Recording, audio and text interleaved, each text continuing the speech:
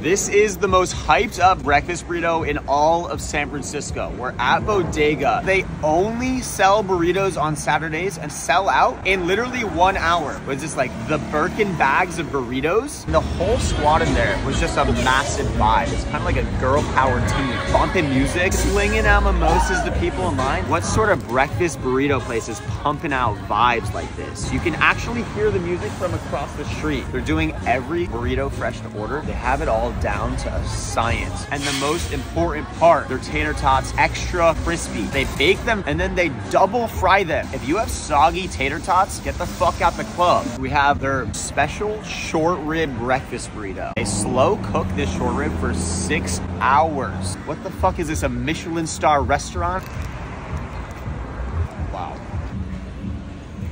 Listen, I'm gonna be honest with you. I'm not really a breakfast burrito fan. I don't know if the mimosas are speaking or if this is really me,